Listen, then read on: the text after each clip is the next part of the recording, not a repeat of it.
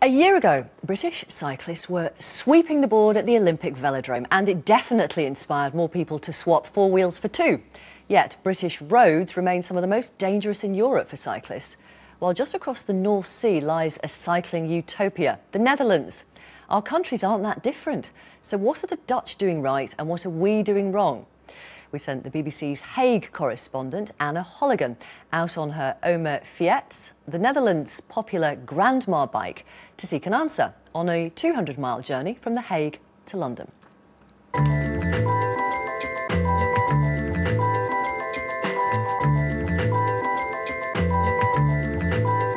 It's history, it's a legacy, it's, um, it's knowledge. It's fast, it's cheap, it's healthy. They really have a totally different culture. You've got a long way to go before you've got the same mentality about cycling, and that's what I want to achieve. A lot of cyclists that you know they're just totally, totally irresponsible. Her life was just starting, as far as I was concerned. So many things were opening up, and then, then she was dead. There's no doubt the Dutch have created some of the most coveted bike safe streets in the world. More than half of all trips in cities like The Hague are made by bike. But the question is, would all of this work for somewhere like the UK? We're going on a mission from the Dutch Parliament to Westminster to find out if Britain could and should be going Dutch.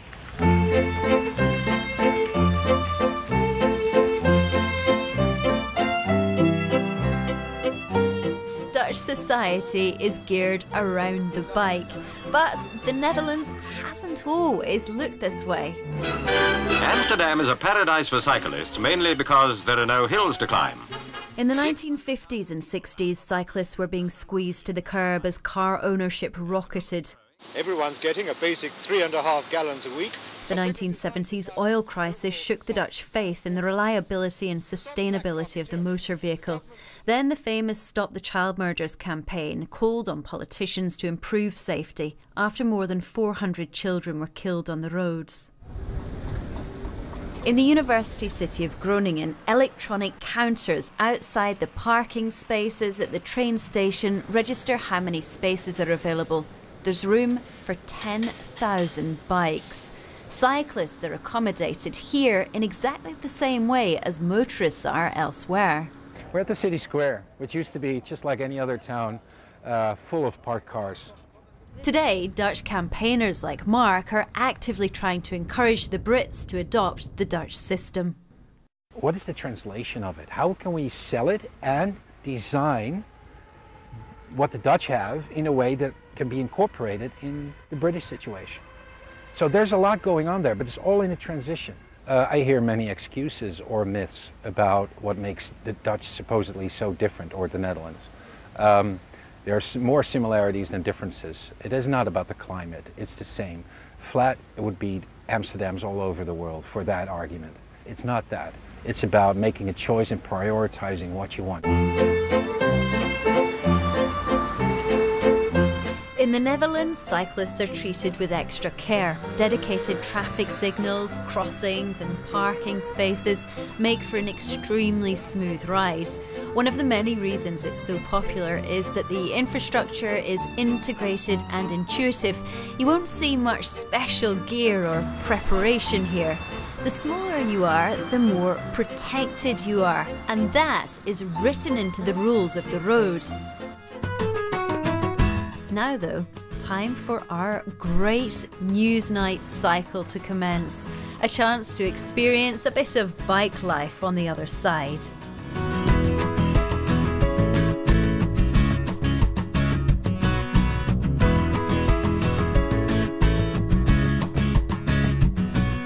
The roads and cycle paths are wide enough for people to cycle along comfortably side by side so going up over this hill. So Newsnight's producer and acting Sherpa Hannah can catch up and help guide us along towards the ferry.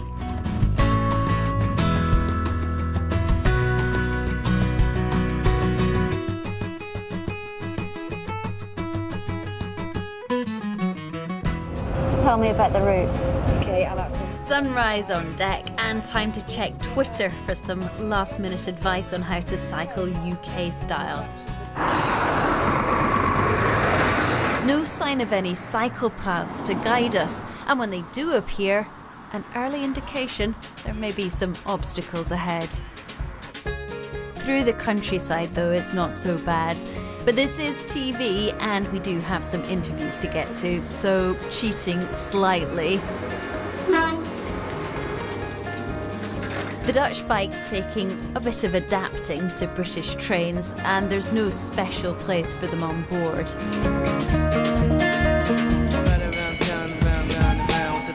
And then we hit London. The cycle superhighways, London's big idea for giving cyclists their own space. London's self styled cycling superhero sees the Dutch bike culture as part of the solution for reducing congestion.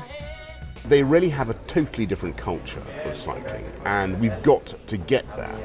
When you cycle in Amsterdam or Copenhagen or, or Berlin, it's you're not in a great fleet of people with their heads down wearing lycra who feel that they've got to get from A to B as fast as possible.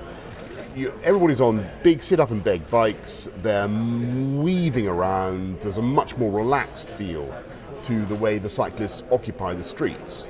And we need to, to get that culture going. And that's why we're doing the mini hollands. Of course, I believe in segregation where it's possible to do, but we don't have in the centre of London particularly, we don't have enough road space to consecrate entirely to, to cyclists.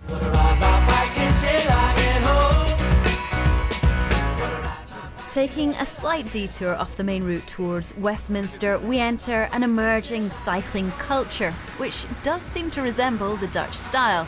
And it's not just the Lycra lads here. Across the UK, there are signs the Dutch dream is starting to be recognised. Here on Hackney High Street, for example, they've turned it into a bikes only zone. It is happening. It is. There is a cycle revolution happening in London. It isn't just black and white as well. You know, there the changes are beginning to happen. People are beginning to embrace cycling as so much more of a, a cultural part of London too, which is a fantastic thing to see. It's fantastic to see it being embraced. So it isn't just cycling in the Netherlands good, cycling in London bad. We're nowhere near perfect, but we're nowhere near absolutely hideous as well. We're, I think we're in a strange in between place in London in cycling at the moment. Even if cycling culture is starting to change, many drivers still see cyclists as some kind of aggressive tribe. There's not much that really uh, gets under my skin, but you know, sometimes when you see them going through, I've seen them going through crossings when there's when there's women pushing prams. It's crazy. And others say it's not in the country's interest to give more space or financial support to cyclists. I think Boris's plans for spending more on cycling are in essence bonkers. Cycling is one of the most dangerous occupations you can undertake. You should realise that and that's why if you've got any sense you get off your bike and actually use public transport or, ride, or, or buy a car. They're becoming a very pushy minority group you don't get that from motorists who are much, much better behaved generally. Everyone agrees it's going to take more than blue paint. Redesigning the roads, though, is not just about creating beautiful segregated spaces in places like London's Hyde Park. We're going to reclaim the city for the bike, and it's going to be the symbol of that now. We're spending a billion pounds over the next 10 years to make London cycling much more cyclist friendly, much more like Amsterdam. We're not going to be Amsterdam anytime soon. It took even Amsterdam 40 years to become Amsterdam, um, but we're going to be a lot further towards it than we were. 122 cyclists were killed in the UK last year, more than the number of soldiers that died in Afghanistan. The number of cyclists seriously injured went up by 4% to 3,222. This is the eighth year in a row that those figures have increased. This was her um, first graduation. She did her first degree at Royal Holloway. Even those who've had the worst imaginable experiences are still actively promoting a greater British cycling culture. She was cycling to work, um, going straight ahead. A lorry who was turning left turned left across her path and she was killed instantly. Do you encourage more people to take to their bikes even after your own experience? Yes, yes, definitely, definitely. That is the only way to go. There are so many arguments in favour of cycling. We are going to need to think radically about how we deal with the reality that there are going to be many, many more cyclists and many more pedestrians. The next person we meet en route to Westminster is Veronica. This CCTV footage shows the moment just before she was hit by that lorry. This is kind of the Marble Arch Gyratory, and I was here, so he closed in behind me and then clipped my wheel um, from the back and dragged me all the way across um, down the Edgware Road path. It's very easy to think, oh, it's not going to happen to me. Um, you hear these things on the news all the time, but as with my case as well, I mean, I thought, oh, well, it's not going to happen to me, but it does. So um, be careful.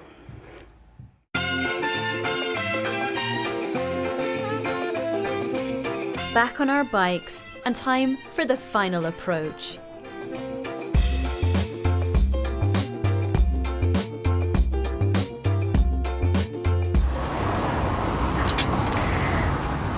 We made it. Trusty Dutch bike and I and the crew survived the journey.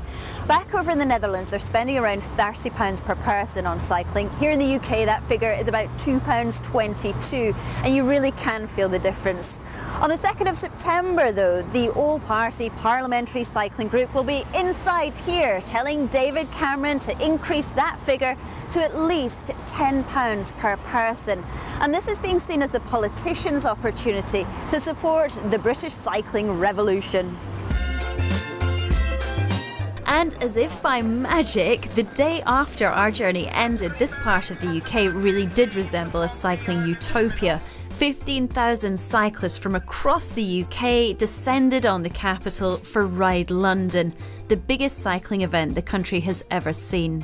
It is relatively easy to organise a single weekend, though. The real challenge for the UK will be in making cycling a sustainable and integrated part of the whole culture.